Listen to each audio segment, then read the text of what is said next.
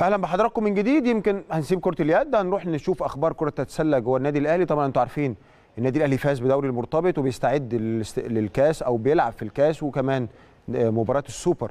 آه، طبعا بتاعت الموسم اللي فات هتلعب يوم 26 آه، الشهر الجاري. يمكن النادي الأهلي فاز على شرقية الدخان في دور ال 16 في كأس مصر وتأهل لدور الثمانيه إن شاء الله عشان طبعا يلاقي اللي هيفوز من أصحاب الجياد ونادي الإبراهيمية في دور الثمانية.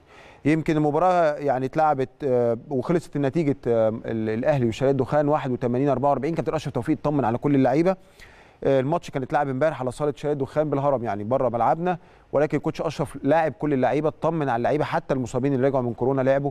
فالحقيقة كانت فرصة كويسة جدا إن النادي الأهلي يختبر كل مفاتيحه آه، ويحاول تاني يظبط الدنيا. يعني كان في لعيبة مصابة وراجعة وفي لعيبة موجودة من زمان فكان لازم كله يبقى مسطرة واحدة. فالماتش ده كان مهم جدا.